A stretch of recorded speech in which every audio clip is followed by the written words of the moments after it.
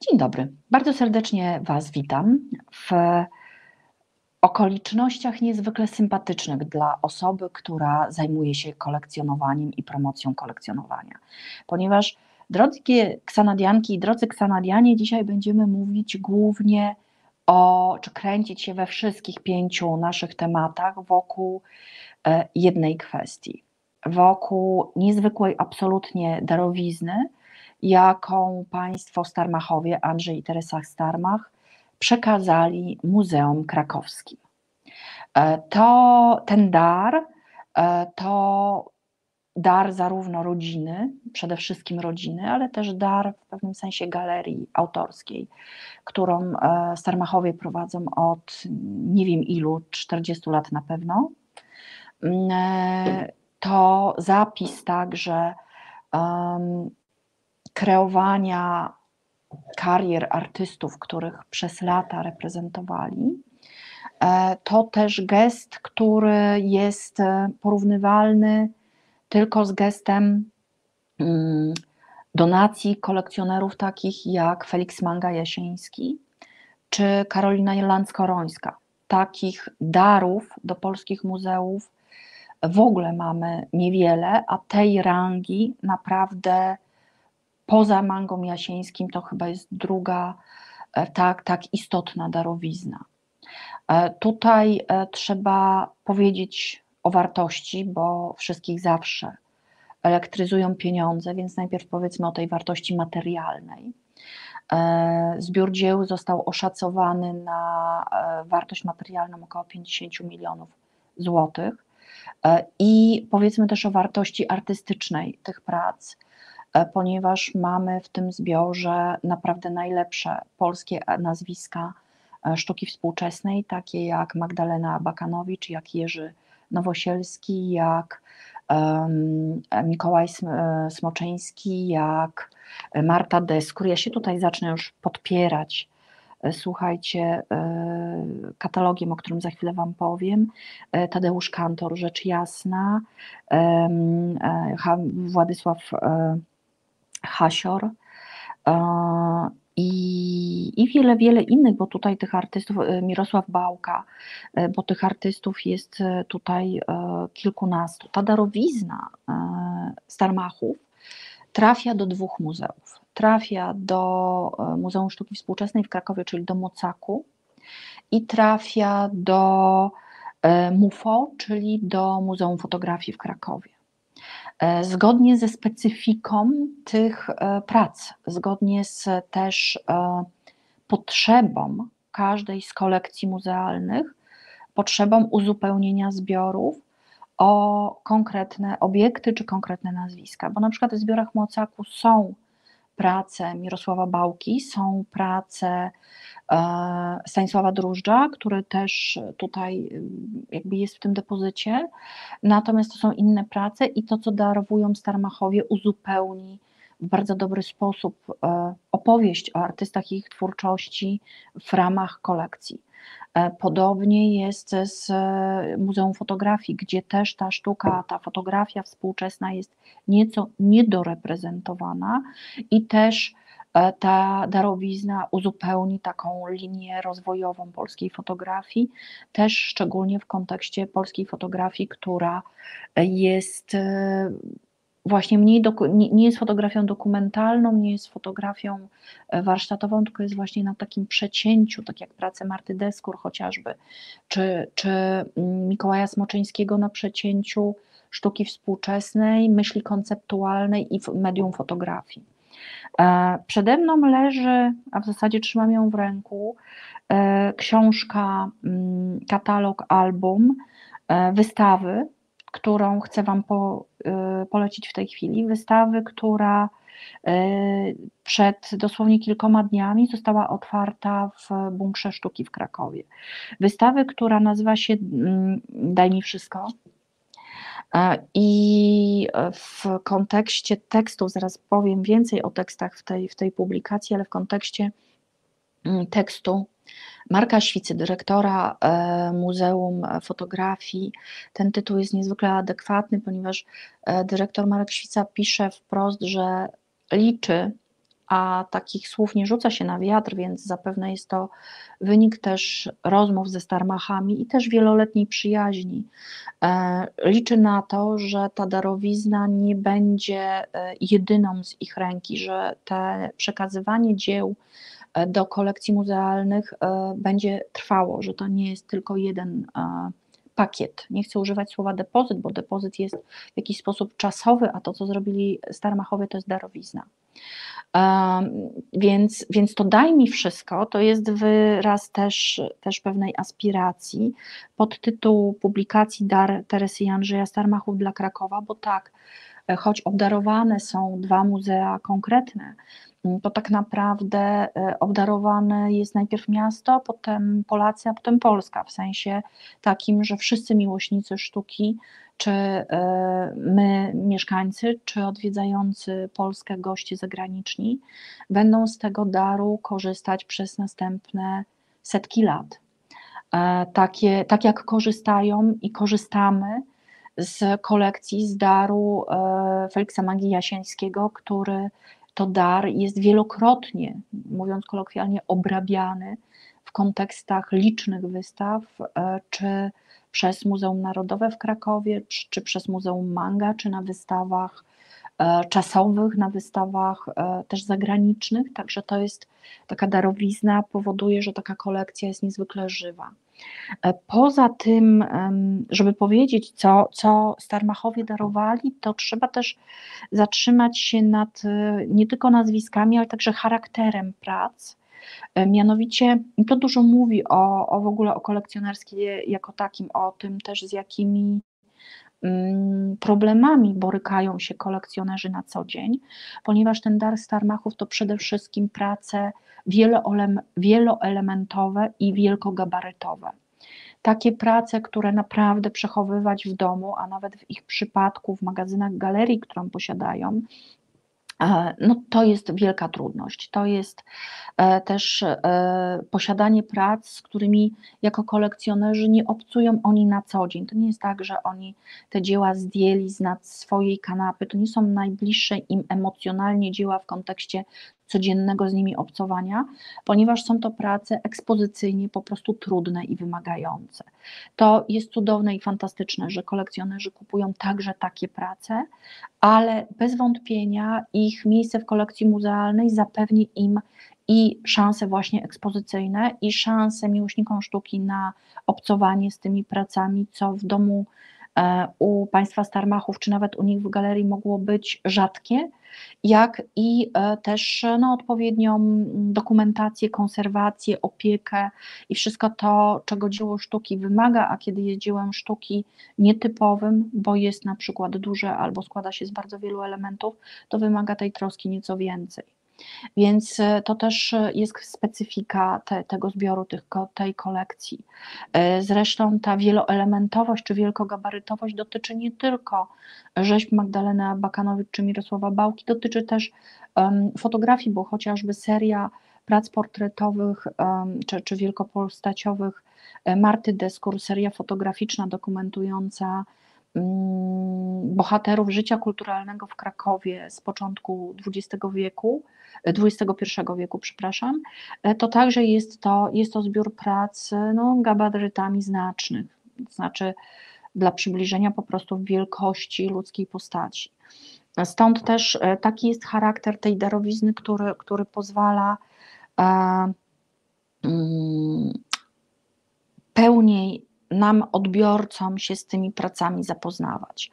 E, ta wystawa, na którą Was zapraszam, do Bunkra Sztuki, to właśnie wystawa, która prezentuje ten cały dar na właściwie w całej galerii, czyli dwa piętra. Bunkier sztuki, który e, przez ostatnie lata przechodził e, bardzo konkretny, taki wybebyszający remont. E, tą wystawą wraca na mapę wystawienniczą Krakowa zarówno bryła zewnętrzna, jak i infrastruktura wewnętrzna zostały wyremontowane. Jest nowa dyrekcja, która ma bardzo ambitny program wystawienniczy, zobaczymy i nie tylko, także edukacyjny.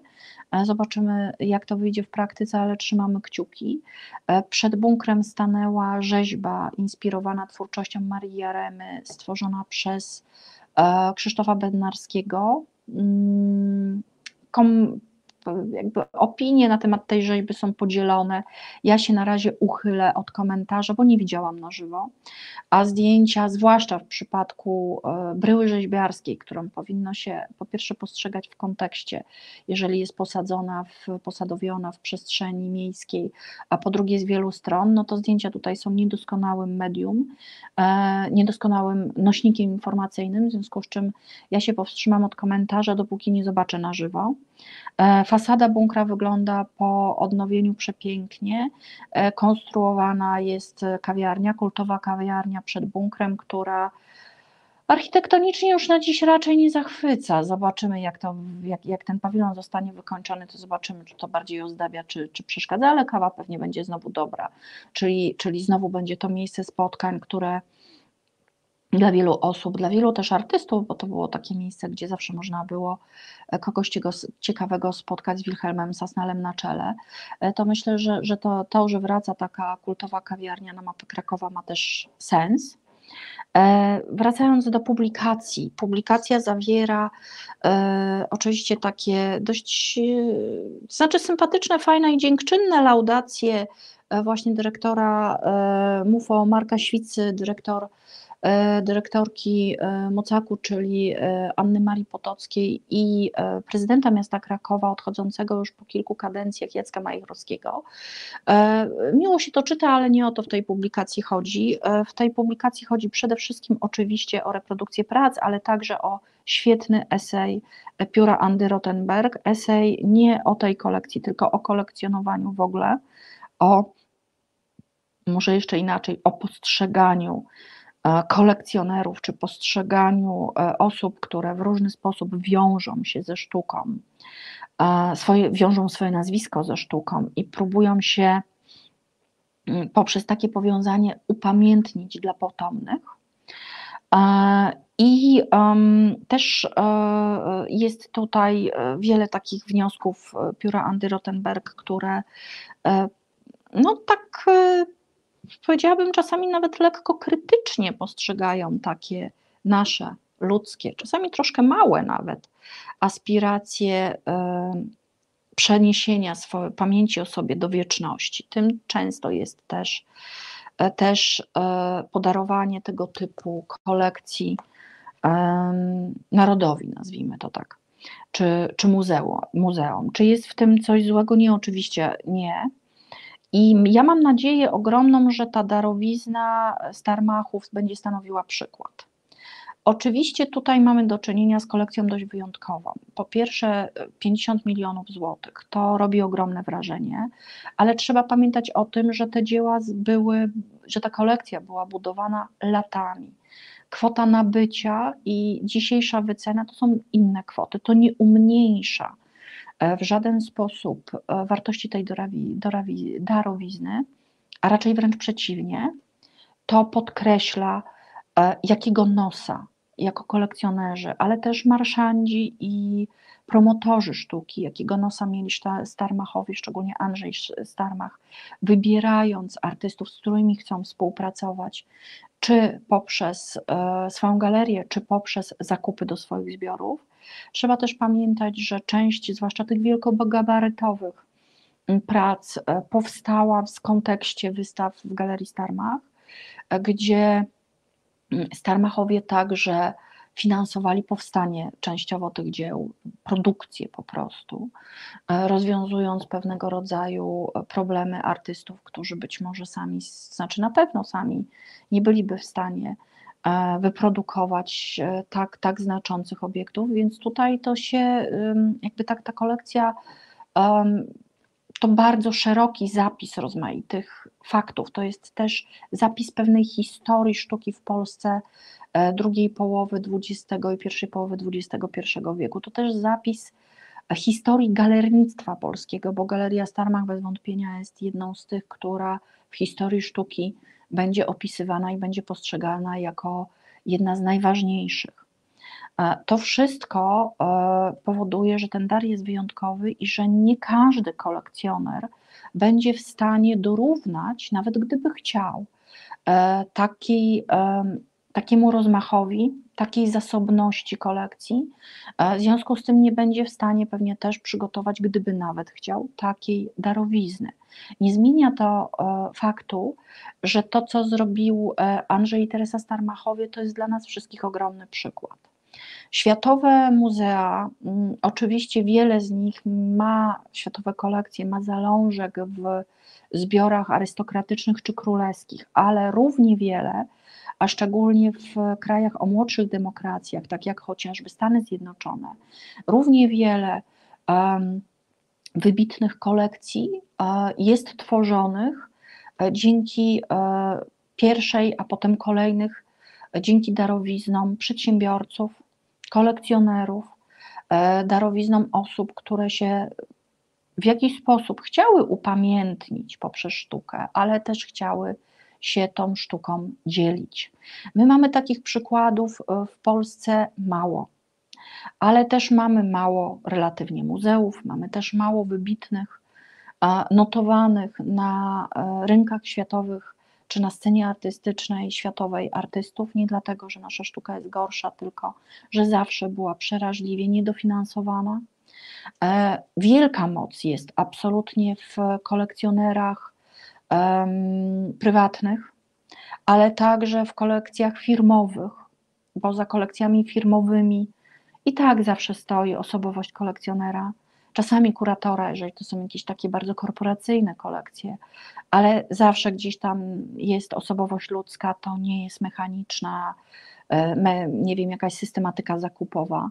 Tam zawsze jest ta emocjonalność miłośnika sztuki, jego miłość do sztuki. Mm, ja też patrzę na ten dar Starmachów z pewnym rozczuleniem, ponieważ dla mnie to też jest zapis e, relacji w małżeństwie, pewnej miłości do sztuki, która jest też miłością między dwójką ludzi. E, która to wygenerowała ta miłość i tę kolekcję, i tę galerię, i ten związek, i tę relację.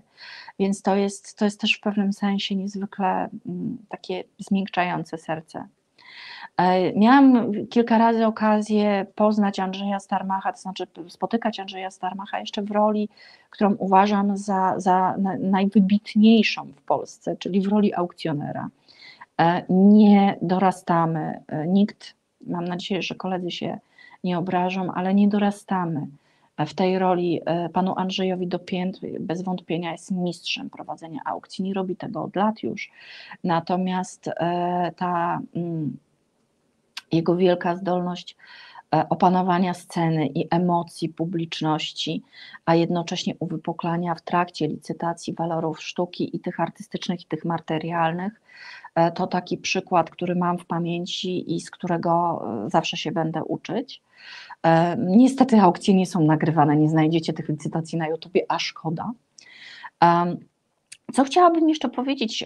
Chciałabym dzisiaj Wam jeszcze poza rekomendacją publikacji, rekomendacją wystawy, która jest czynna długo, bo jest czynna do 1 września Czyli tak naprawdę, jeżeli będziecie w Krakowie, nawet w wakacje, to będziecie mieli okazję się z tą kolekcją i z tą wystawą zapoznać.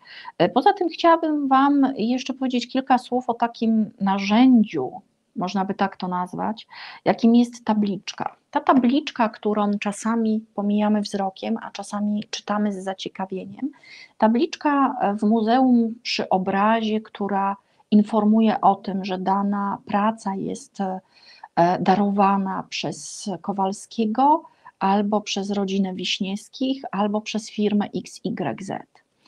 I e, wiem, że wielu kolekcjonerów przekazuje darowizny i depozyty do muzeów, i wtedy e, decyduje, żeby tej tabliczki nie było, bo są to bardzo często ludzie zdecydowanie skromni i robią te darowizny, ponieważ uważają, że taka jest ich misja i postawa społeczna, i to jest taka postawa dzielenia się pięknem, dzielenia się e, czymś, co uważają też za dziedzictwo narodowe. Natomiast ja nakłaniam bardzo do tego, żeby te tabliczki umieszczać, muzea to robią, i żeby na te tabliczki się godzić.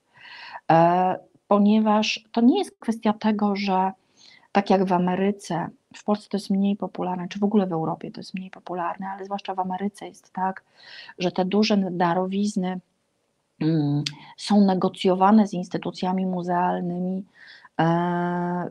także w ten sposób, że dla nich przygotowuje się specjalne skrzydła muzealne, które są opatrywane nazwą skrzydło Rockefellerów, na przykład nazwą od nazwiska.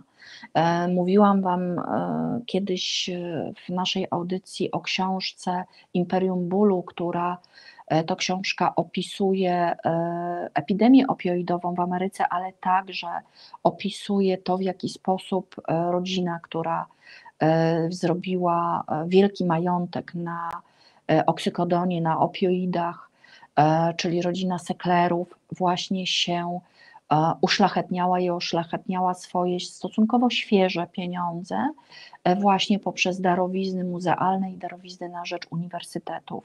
W Europie my mamy mniej tego typu spektakularnych sytuacji, natomiast ja mimo wszystko bardzo nakłaniam do tego, żebyście wy kolekcjonerzy, jeżeli się dzielicie E, jeżeli umieszczacie swoje e, zbiory w depozycie muzealnym albo przekazujecie je tytułem darowizny, e, to żebyście dbali o te tabliczki. Nie dlatego, żeby to łechtało waszą próżność, jeśli tego nie potrzebujecie, a jeśli potrzebujecie, to nie widzę w tym nic złego, ale po to, żebyście dawali przykład innym.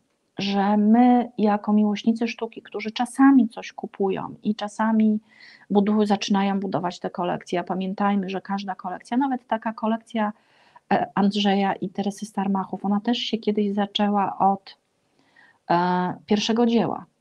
Nie wiem, nie pytałam ich nigdy o to, ale być może od pierwszego dzieła nad kanapę. A więc e, każdy z nas może zostać wybitnym kolekcjonerem. Ta, ta, to dzisiejsze nasze spotkanie to jest takie trochę może mm, zbyt emocjonalne i naiwne wezwanie, ale to jest wezwanie nie daj mi wszystko, tylko zostańmy starmachami.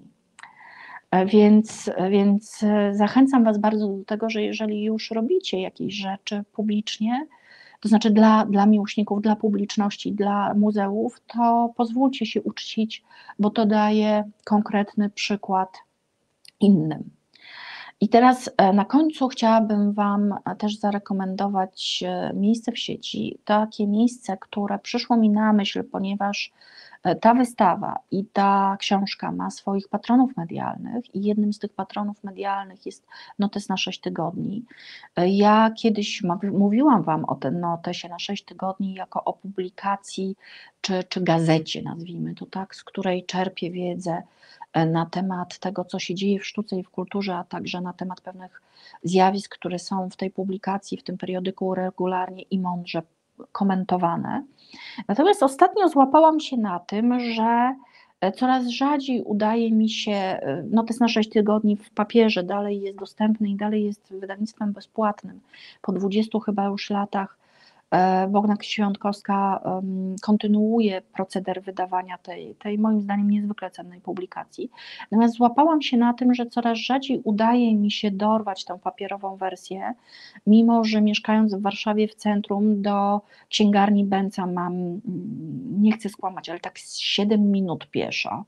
Jesteśmy strasznie zabiegani, jednak E, coraz częściej czerpiemy wiedzę z internetu, e, w związku z czym dziś chciała wam, chciałabym Wam polecić stronę notesu na 6 tygodni, e, stronę internetową, na której znajdziecie po pierwsze zawartość notesu tego papierowego, po drugie bardzo dużo materiałów czy publicystycznych, czy wywiadów, które prowadzą różne osoby, w tym Bogna Świątkowska we własnej osobie i jej wnikliwe pytania to zawsze jest duża intelektualna przygoda, wywiady przez nią prowadzone, ale też jest ten dział Orientuj się, dział, który pozwala nam e, zmapować, e, gdzie, na jaką wystawę możemy pójść, zwłaszcza nawet jeżeli mamy tego czasu mało, coraz często mnie pytacie, mm, gdzie zobaczyć, co zobaczyć, w jakimś mieście, w którym jesteście na przykład bardzo krótko w delegacji i możecie wygospodarować, nie wiem, 3-4 godziny dla siebie i chcielibyście zobaczyć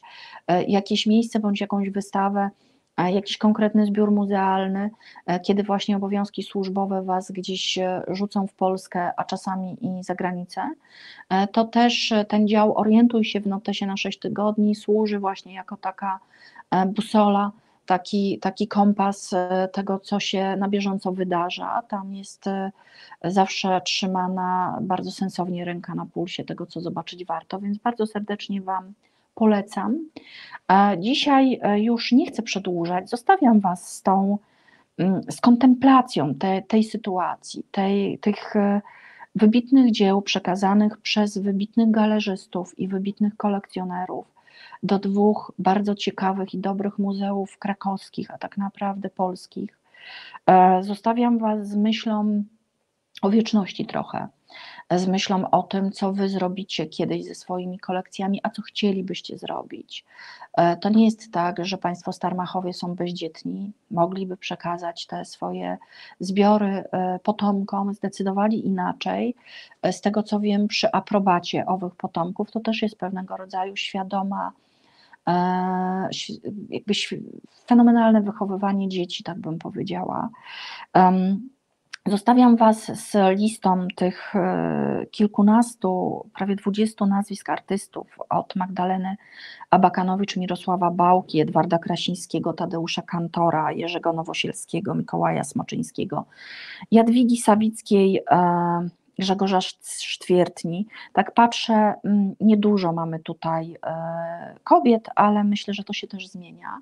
I chciałabym Was bardzo serdecznie zaprosić do uczestnictwa w kolejnych warsztatach w Warszawie w Ksanadu z konserwacji w malarstwie, z technik malarskich, z warsztatów na porcelanie. Na naszej stronie internetowej znajdziecie kolejne kwietniowe i majowe daty naszych warsztatów. Szczególnie zapraszam na majowe warsztaty z Markiem Kruczkiem mm, w zakresie analizy malatur na porcelanie. W niedzielę te warsztaty miały miejsce i recenzje z Waszej strony są na temat tych warsztatów fenomenalne, więc e, myślę, że więcej osób, e, kiedy zdecyduje się wziąć udział w tych warsztatach, to na pewno bardzo skorzysta i e, skorzysta pozyskując unikatową absolutnie wiedzę, ale też skorzysta po prostu świetnie spędzając czas e, z bardzo ciekawym prowadzącym, ale też w, grupie fajnych osób. A poza tym zapraszam Was do Ksanadu na dwie aukcje. E, katalog 12 aukcji sztuki współczesnej, która będzie miała miejsce 9 e, kwietnia, już jest opublikowany na naszej stronie internetowej i będziemy wtedy licytować dzieła E, artystów e, o wybitnym dorobku, czasami też już artystów nieżyjących. Będziemy też licytować wiele prac na papierze. Wyjątkowo w tej aukcji mamy taki e, obszerny papierowy aneks z wybitnymi dziełami, między innymi z całą serią kronik Feliksa Topolskiego, więc bardzo warto na to zwrócić uwagę. A wcześniej, paradoksalnie, choć tego katalogu nie ma, myślę, że w piątek go opublikujemy, zapraszam Was na 85. E, aukcję młodego malarstwa i rzeźby. Za mną wisi praca Łukasza Huculaka, Gwasz na papierze, e, to z kolei praca, którą będziecie mogli właśnie nabyć na aukcji sztuki współczesnej. Jedna z tych E, wielu prac papierowych, które w tym katalogu zdecydowanie przykuwają uwagę. Także bardzo serdecznie Wam polecam i warsztatowanie z nami, i licytowanie z nami, a do końca tygodnia zapraszam do Ksanadu na wystawę zbiorową artystów i prac e, artystów, e, których reprezentujemy i których dorobek jest dobrą inwestycją i świetnym wzbogaceniem kolekcji. Bardzo chętnie będę z Wami rozmawiała na temat walorów tych prac, i tych artystycznych, i tych estetycznych, i tych inwestycyjnych. Bardzo dziękuję za Wasz czas i do zobaczenia za tydzień.